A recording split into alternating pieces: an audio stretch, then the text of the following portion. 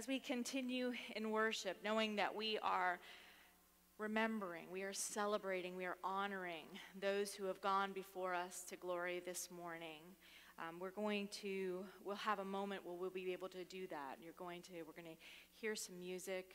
We're going to, um, it's going to be a prayer. You'll see names and faces on the screen. And if someone, after I, I'm going to read this prayer, if someone has touched your life, someone in this communion of saints has impacted your life in some way, I do invite you when you see them, I invite you to stand or to raise your hand if you are not able to stand. Stand in body or in spirit. Raise a hand or stand in recognition for the impact that these folks have had on your life and that impact that continues, the ripple effect of that, the love that they have shared with you that continues flowing on through you to other people. And this is the way that we do continue that communion of saints. We become, it's that thin space where we get to be one with those who have gone before. And so this is a prayer by the Reverend Jan Richardson for those who walked with us. For those who walked with us, this is a prayer. For those who have gone ahead, this is a blessing. For those who touched and tended us, who lingered with us while they lived, this is a thanksgiving. For those who journey still with us, in the shadows of awareness, in the crevices of memory, in the landscape of our dreams. This is a benediction.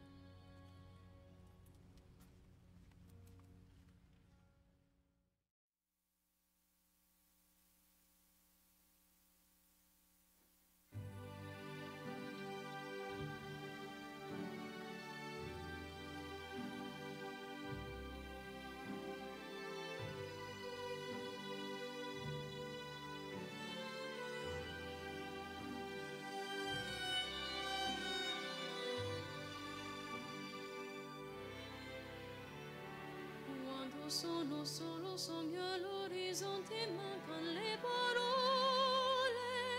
Sì, lo so che non c'è luce in una stanza quando manca il sole. Se lo ci sei.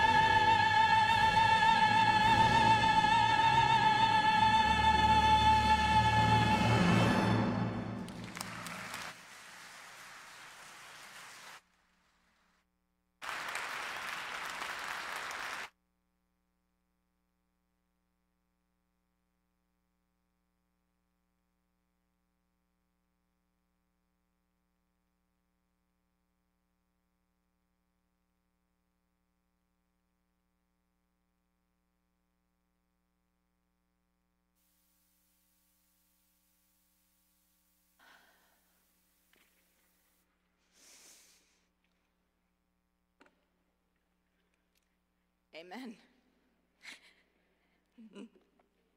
oh.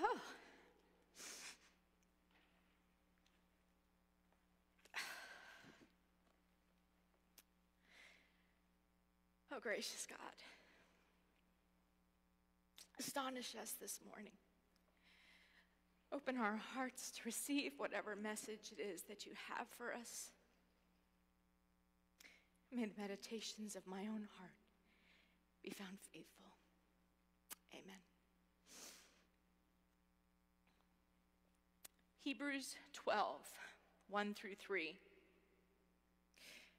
Therefore, since we are surrounded by such a great cloud of witnesses, let us throw off everything that hinders and the sin that so easily entangles, and let us run with perseverance the race marked out for us, fixing our eyes on Jesus, the pioneer and the perfecter of faith. For the joy set before him, he endured the cross, scorning its shame, and sat down at the right hand of the throne of God. Consider him who endured such opposition from sinners, so that you will not grow weary and lose heart. The message paraphrase of that says, Do you see what this means? All these pioneers who blazed the way, all these veterans cheering us on. It means we'd better get on with it. Start running and never quit and keep your eyes on Jesus, who both began and finished this race that we are in. Study how he did it. Because he never lost sight of where he was headed, that exhilarating finish in and with God. He could put up with anything along the way cross, shame, whatever. And now he's there. He's there in the place of honor right beside God. And so when you find yourselves flagging in your faith, go over that story again.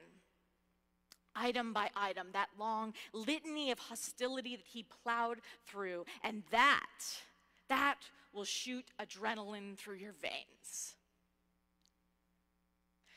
Drive on is what my friend Tish used to say about these verses. This was her verse, these verses when she battled ovarian cancer. That was her rallying cry drive on this race before you. Let us run with perseverance. Start running and never quit. Hold on to faith with both hands and keep our eyes on Jesus. I don't have a picture of me and Tish together. I wish I did. I can still hear her infectious laugh. I can still see her ginormous smile. She was a character.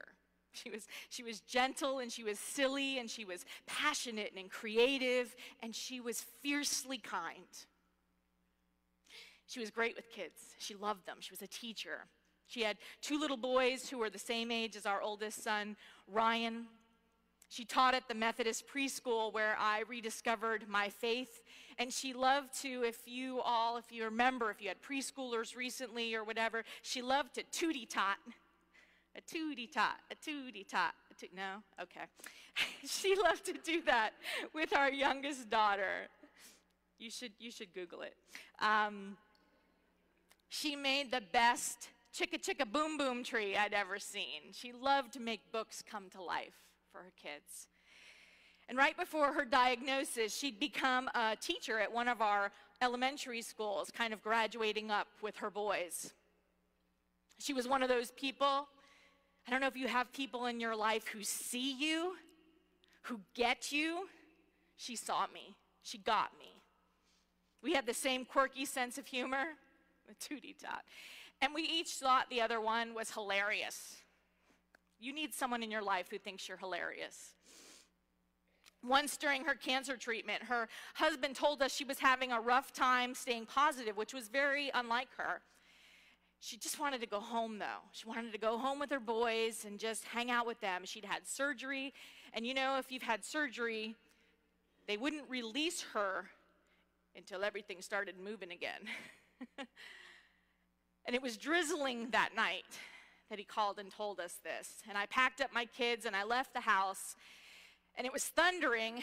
Um, it was drizzling when I left the house. It was thundering by the time that I'd gone to several stores and found what I was looking for that I wanted to give her. And I remember the kids crying in the car on I 4 on the way to the hospital because at this point it's lightning and I am gripping the steering wheel, you know, for dear life.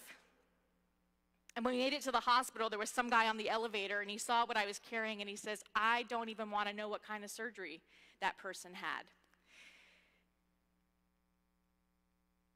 When I made it, when I made it upstairs and I got off the elevator, I couldn't go see her because I had the kids with me and because her immune system had bottomed out and her husband burst into laughter when he saw me. I gave her the, my gift that I was looking for, that I went all over town looking for. It was a dozen whoopee cushions in a vase. she absolutely loved it. She brought it up so many times. What a character I was, right? Tish fought a good fight with faith and a great sense of humor. She had wigs for each day of the week in all different styles and colors so her husband wouldn't know which wife he was coming home to. She wore the silliest cartoon slippers with satin pajamas. And in the spring, our church always made hundreds of cookies for Teacher Appreciation Week, and I was on that team that bagged those cookies up to send them out. And I made a little bag for her so she wouldn't miss out, and I brought them to her. And I could tell that something had shifted in her spirit when she opened the door. And I sat with her while she cried. And she hugged me for a long time before I left, and a few days later, she was gone. And I remember her every April, and I thank God that I got to be a part of her life. The thing about Tish is that even though she had that one night where she got where she was down, right? Her faith was so strong. She taught me how to persevere.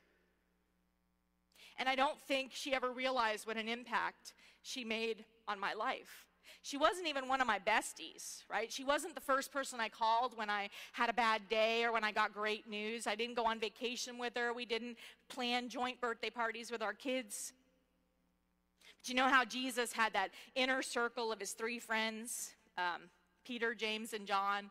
And then he had his, his, you know, the other 12, the rest of the 12. And then he had those outliers, the outer bands, right? The Marthas and the Nicodemuses, Nicodemi, Thank you. I'll take it. It was gratuitous, but I'll still take it. Tish was out there in that outer band of friends for me, and yet she was still so special to me. And I don't know if you have folks in your life that are like that. They're not like the closest people to you, but the light that they shine has a special kind of brilliance and a unique kind of warmth. It draws you to them. That was Tish. And I don't think she knew that. I don't think I ever told her that. And she wasn't just that for me, but I think she was like that for a lot of people because the day of her funeral, there was standing room only. And I remember thinking that I wish she were there so that I could say, Oh my gosh, Tish, I can't believe all these people showed up for you. Sometimes we don't see the difference that we make in the lives that we touch, which is all the more reason that we should live as if our relationships and the encounters that we have with each other that they matter because they do.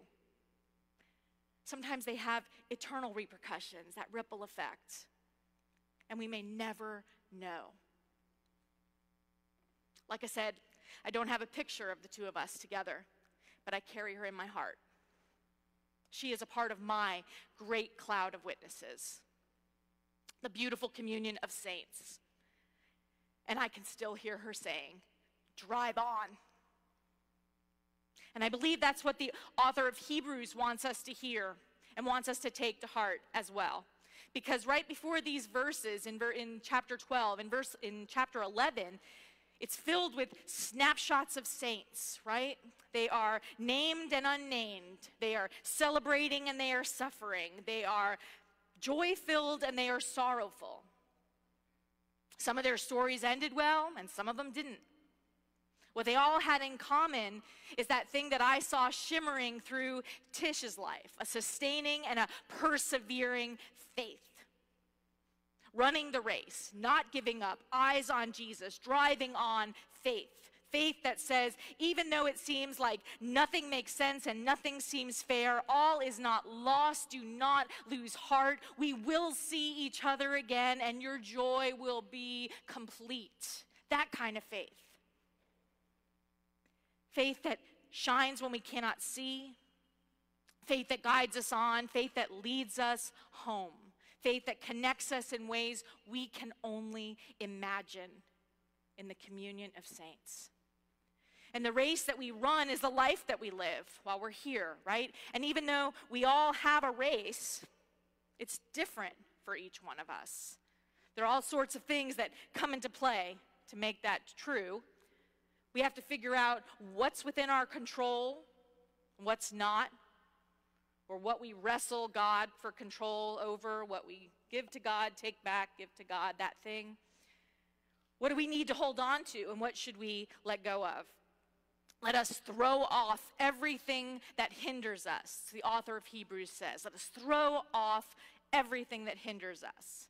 And if you've ever run a race, if you ever run a, a, marathon or a half marathon, a lot of times they start when it's still dark out. You might wear a, a light jacket or sweatpants. When the sun comes out and the day warms up, the course gets littered with clothing that folks peel off as they run, right? And there are volunteers that collect that clothing and they either discard or donate them afterwards. And it's the same with the race before us, right? The race that we run with our lives. We have to decide who and what helps or harms us as we run, and we cull and we cultivate as we go through our lives. During Disney races, they invite you to write your name on your bib or on uh, your shirt or on some visible part of your body, your arms or your legs. And cast members volunteer to line the race route and cheer for you by name. And that's pretty awesome. It's pretty awesome when the race is going well, and it's especially awesome when the race is not going well for people to be cheering you by name.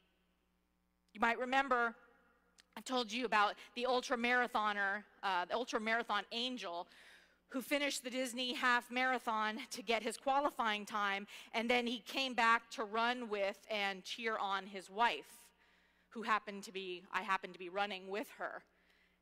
So he's probably the main reason I ended up finishing that particular race.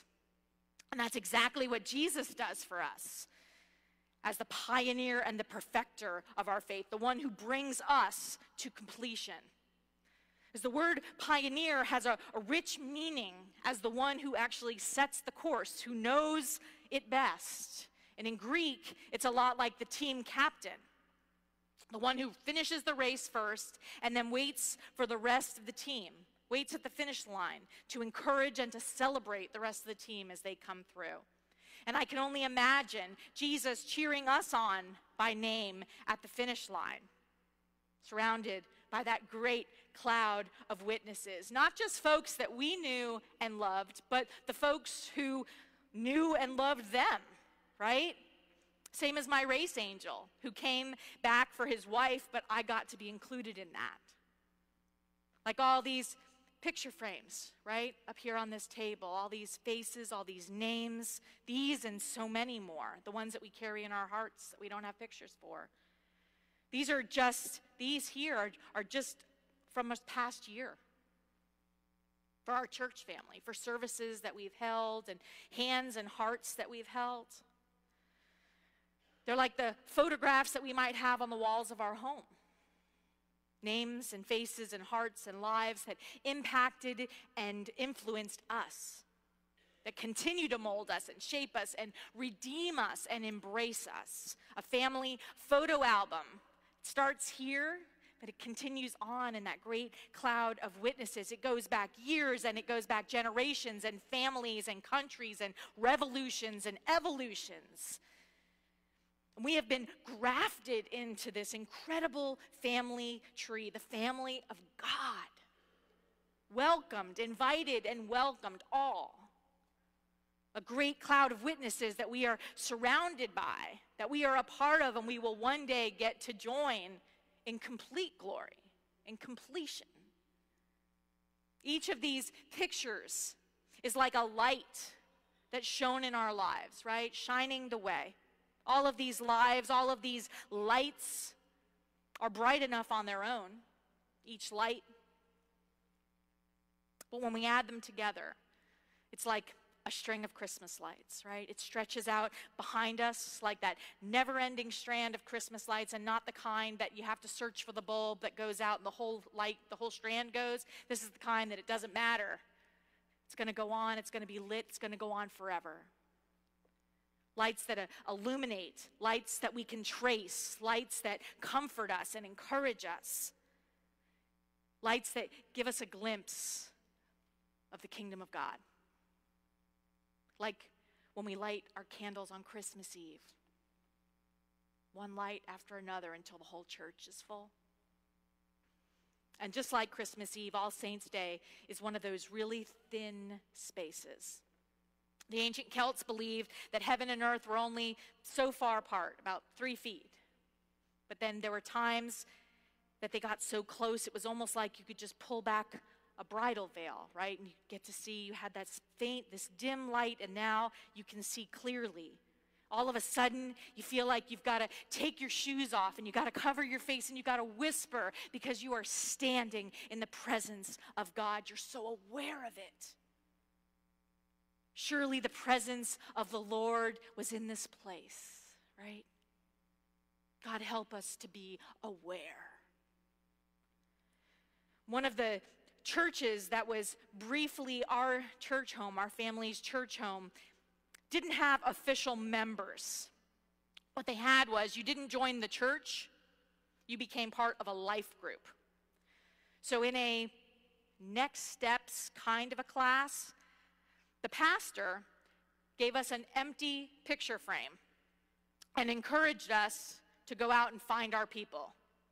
And what he said was, in six months, if you can't find, if you can't put a picture in this frame of you and friends that you have made here that you would want to display in your home, this might not be the church for you. And we laughed at that because we couldn't imagine. We couldn't imagine that happening. We loved this church. It was so it was such a great place. But he was right. It wasn't the right church for us. We tried really hard to make friends and to fit in, but they just weren't our people. They were a safe place during a really rough season of our lives. So we got to worship and we learned and we prayed and we healed there. And I'm grateful for that healing space that they gave us. We found our people right away at the next church. And I still have an ongoing text thread with three friends that are there. And the other day I told them, I love you people. I stinking love you people. And one of them responded, That's because we are your people. Yes. Thank you, God. Yes, indeed, you are. You are my people. The three of them are, are part of my great cloud of witnesses here, now, right? This side of heaven. They are in my picture frames in all of their geeky glory. And I am so grateful. So, if I were to hand you a picture frame, would you be able to fill it? Would you be able to find folks that you would want to take a picture with and hang on the walls of your home in this community that we are, have built and we are building together here at Pasadena? What pictures? Can you imagine what pictures you might put in those frames? What pictures would you want to put in those frames? Who are your great cloud of witnesses this side of heaven? Because they're here, they're with you, they're walking beside you. We're all walking each other home. And are there folks who would put you in their frames? I hope so. As we celebrate and we remember the saints that we have known and loved, the saints who have gone to glory ahead of us, and who we cannot wait to be reunited with someday. Let us also celebrate and remember those who are still here. Because there are lights shining all around us. If you look to your left, you look to your right, you turn around, spin around, if you 2D tot, you will see them. I wish I wish I had told Tish then what I know that she knows now. So let this be your invitation to tell someone how much the light that they shine and they share means to you. We are tomorrow's saints. We are a great cloud of witnesses in the making. So let us not grow weary or lose heart. Let us drive on. Amen and amen.